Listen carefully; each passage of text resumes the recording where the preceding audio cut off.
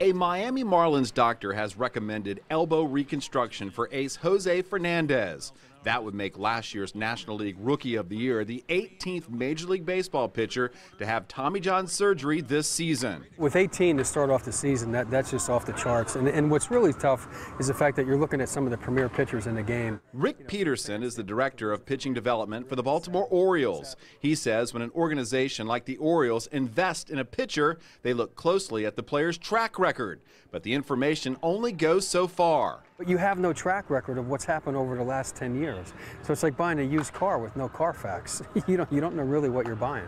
Peterson says an organization would like to know the player's 10 year history and look for signs that may lead to elbow injury. Overuse is a number one factor of, of, of these kind of injuries.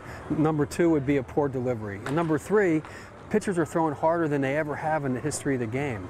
Velocities continue to increase. You can train the body, you can train the muscles, you can train the cardiovascular system. You can't train tendons. 2006, throwing a bullpen at college, UC Davis, uh, out a year.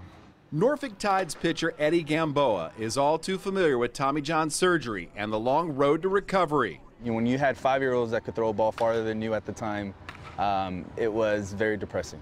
That was the only time Gamboa has not been in baseball. Throwing a baseball is a very unnatural thing. We're already doing something that our body shouldn't be doing. And, um, you know, so the more you do it, um, you know, it's going to affect the elbow a lot. Not every player who has Tommy John surgery has a 100% recovery. About 50% of elbow injury, elbow surgeries come back to their previous level or go higher. That's it. That's so if you're getting Tommy John in high school, you have a 50% chance of making your varsity team when you come back from that surgery. Overuse appears to be the biggest cause for injury, but research is still being done to help players avoid scars like Gamboa's. The things I've learned through this experience is, um, you know, try to stay away from off-speed pitches as late as possible. In Norfolk, Chris Reckling for the Sports Wrap.